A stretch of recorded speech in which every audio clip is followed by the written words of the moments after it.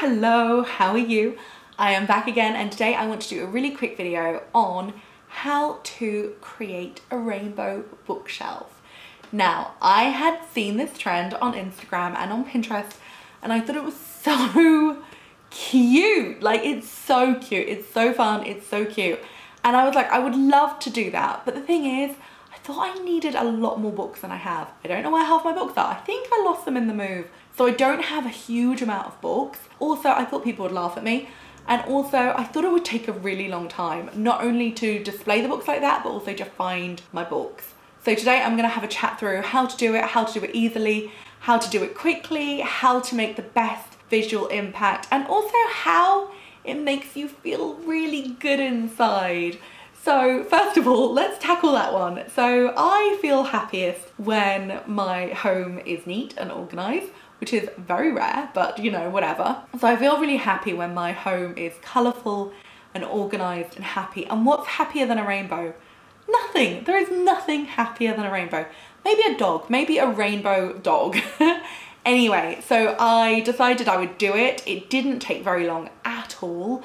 I was shocked at how quick it was. I only really have one major display of books and I'd already tampered with the idea of putting my books into kind of color coded orders like in my kitchen, I've got all black books. In my office, I've got a shelf of pink books.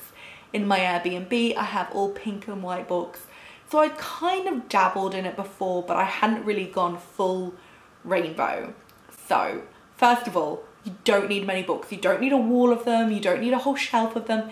You just need one shelf. Like that's all. You don't need a big pile of them. You just need one little shelf. Also, you might think you don't have many colored books, but actually you probably do. You'd be surprised how many of your books are really colourful. Plus with my clever little technique, you can actually make more of a rainbow than you actually think. First of all, my best tip is to put all the white books on the left and all the black books on the right and then you have your rainbow in the middle where your eye is visually drawn to them. So you might only have this much rainbow and that many books. And if all your rainbow books are in the middle, that is what you're gonna see. So you put all your white books here and then you do pink, red, orange, yellow, green, blue, purple and black. So you'll have quite a lot of black books, quite a lot of white books and then your rainbow will be in the middle where everybody, including you, can see it all the time.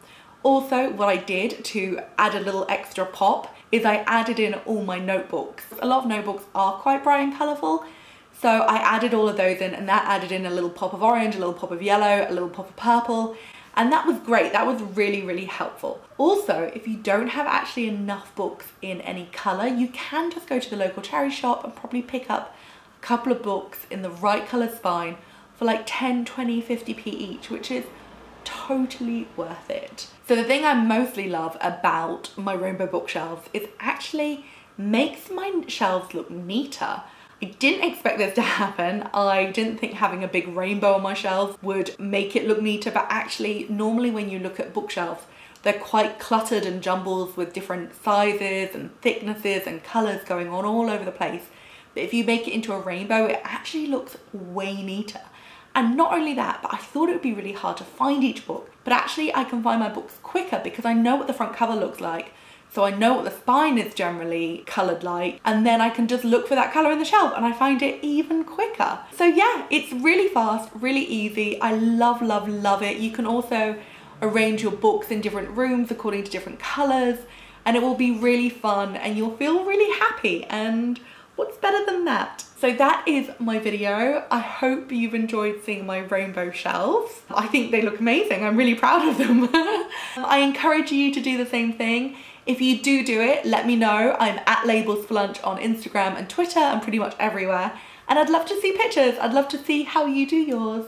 Thank you very much for watching. Hopefully I'll see you again soon. Goodbye!